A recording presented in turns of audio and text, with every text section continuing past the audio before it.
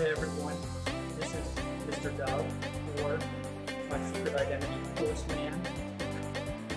This it would be a kitchen for normal people, but for us, it's a lab. This is where normal people would cook up uh, food. We're cooking up inventions based on Newton's three laws. So, here's Popsicle, as always. Another person gets to be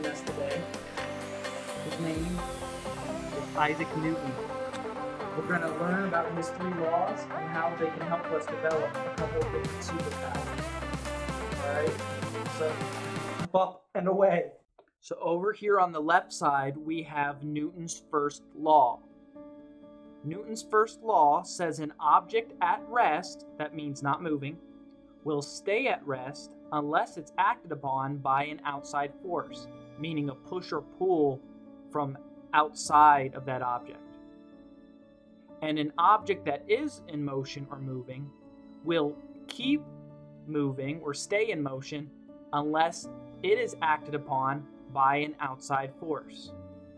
So if you look over here on the right, this is what that means. We have an object over here, this box. Right now, it is at rest. It is not moving. It will stay at rest unless it's acted upon by an outside force. In this case, this person applying a force to the box. So let's have them apply a force. And now you see the speed is starting to go up and the object is starting to move because now an outside force has been applied. Now when I release the box, it's starting to slow down. And the reason that it's not staying in motion yet is because it's still being acted upon by an outside force. In this case, the floor is exerting a force of friction to bring it back to a stop. Now I have changed the surface of the floor so that there's close to no friction. This would be like if it was in an empty environment without anything around it that could exert an outside force back on. So it still will be where it is and at rest if there's no outside force. And this time, if you apply an outside force to it, what'll happen is because there's no force of friction that's being an outside force slowing it down, it just keeps going and going and going. The object in motion is staying in motion, and there's no outside force that's going to act on it anymore. So, this idea that an object at rest will naturally stay at rest, or an object in motion will naturally stay in motion if all of the forces are balanced, meaning there's no outside forces speeding it up or slowing it down or changing its direction. That idea that an object will do that is called inertia. And you can see that on the left side of the screen here, what I'm pointing to. So that is Newton's first law.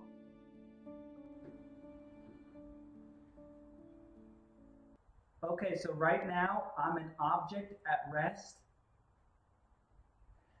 And then when an outside force of this super special slingshot acts upon me, then I'm going to go from at rest to motion. In three, two, one.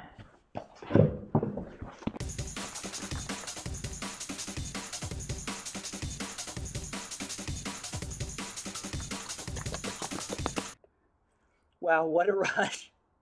But I'm getting too old for this. Let's just keep going. On to the second law. Okay, so now we are at Newton's second law.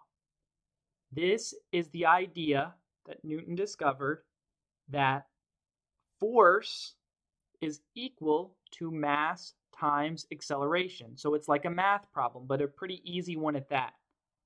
Where force is the push or pull on an object, mass is the amount of matter or stuff inside an object, and acceleration is how much an object is speeding up. Not its speed, but how much it's speeding up.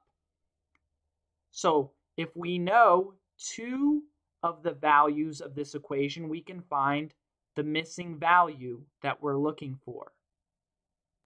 So let's go ahead over here to the right side of the screen where I have a chart. Remember for this, force equals mass times acceleration. So first, I want to show you all an example before we did a few of these problems. Let's say you had an object that had a mass of one kilogram. That means there's one kilogram worth of matter or stuff inside, or about 2.2 pounds. Like the amount of stuff inside of here is one kilogram inside this silver thing. If I were to drop that silver thing, its acceleration or how much it would be speeding up because of gravity would be about 9.8 meters per second squared. Then, if I wanted to find the force, I would do the mass times the acceleration, so that's 1 times 9.8, and that would get me a force of 9.8, and then the units for force are newtons, named after Isaac Newton. Alright, now let's work on the rest together. So, if we had a mass of 2 kilograms for an object, an acceleration of 3 meters per second squared, then what would our force be?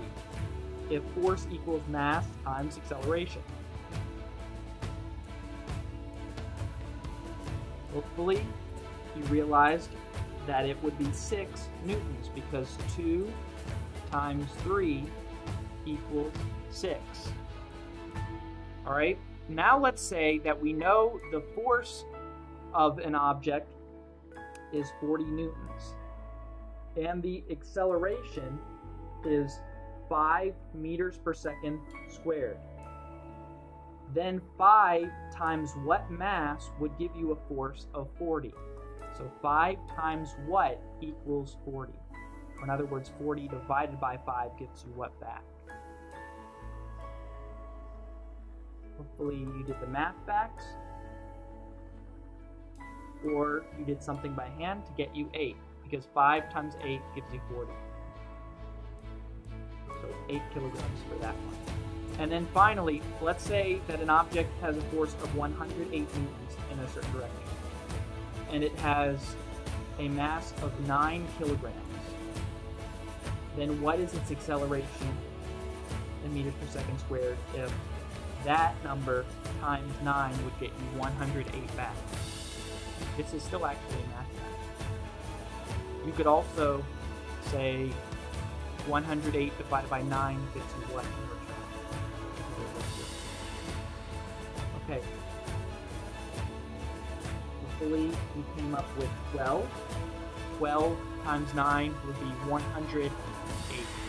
So, to summarize, the mass of the object in kilograms times the acceleration of the object in meters per second squared, meaning how much it's speeding up, gives you the force of that object within whatever direction the uh, acceleration is.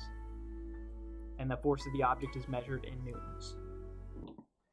All right, so based on our calculations for Newton's second law, we've learned that because force equals mass times acceleration, the larger the mass of an object, and the faster it speeds up or its acceleration, the higher that is, the more force you're going to have applied overall. So let's put that to the test. I have an object or projectile with a small amount of mass. We could call that an ice ball. And an object or projectile with a large amount of mass. We'll call this a fireball. All right? So first let's try small mass and small acceleration so it doesn't speed up that much. Eh, just a little bit of force. Let's try small mass and fast acceleration or a lot of acceleration. Okay, that's some more force than the previous one. Let's try our fireballs now. so we've got a large mass and let's try first with a small amount of acceleration. Okay, even a little bit more. And now, if our calculations are correct, a large mass object with a large amount of acceleration, meaning it's speeding up a bunch, should apply a lot more force than all of the other scenarios. Here we go. Three, two, one. Yep, that definitely did. I was afraid that was going to break something. Right, Popsicle? All right, so hopefully that um, makes a lot of sense. All right, so now we're on Newton's third law, which says for every action there is an equal and opposite reaction. What that means is when you apply a force to an object, it is applying a force back on you that is equal in size and in the opposite direction. So let's test a couple of these in our lab. All right, so if I were to apply a force downward on this chair with super strength, doesn't matter how much force I'm applying, the chair is applying the same amount of force back up at me. It's in the opposite direction of where I'm applying my force. All right? And then over here, if I'm applying a force to this wall, the wall is applying a force back towards me in the same amount, just in an opposite direction. I may have to work on my super strength. All right, so those are Newton's three laws. Wait, hold on, that's my kilogram. You know who I am? I'm Force Man. This force boy. Super speed. Right, here's a projectile with low mass and low acceleration. Is that all you got? No, I got something with higher mass and higher acceleration. Go get him, Popsicle.